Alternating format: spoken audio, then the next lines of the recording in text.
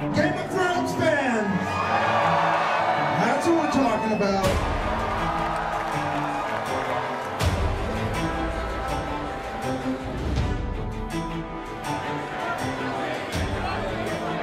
It's overwhelming, but in the best possible way.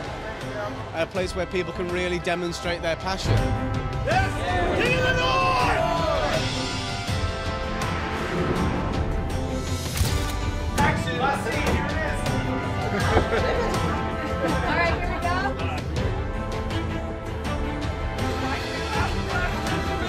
See the joy it brings to so many people's faces is amazing, you know? If they didn't watch, if they weren't fans, we would have nothing to do. So it's our way of kind of saying thank you. If you ended up on the Iron Throne, what would be the first law you would pass? The women could be knights. How about um, maesters have to clean out their own stinking bedpan? If there were one character, Hodor, you wish hadn't been killed, who would it be? I just really loved working with Jack Gleeson so much that I have to say Joffrey. He was so fun to hate.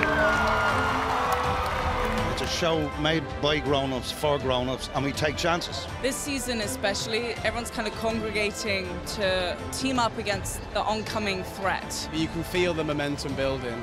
Lots of stuff coming to a head. alliances are being forged, alliances are being broken. It's all kicking off. It's only going to get bigger and better.